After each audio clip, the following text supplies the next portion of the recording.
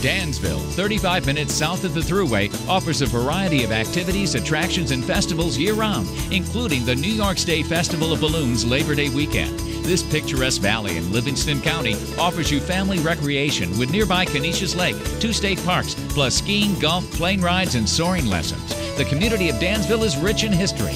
Enjoy the restored historic movie theater, restaurants, and unique shops. Visit the website today and find out why Dansville is second to none.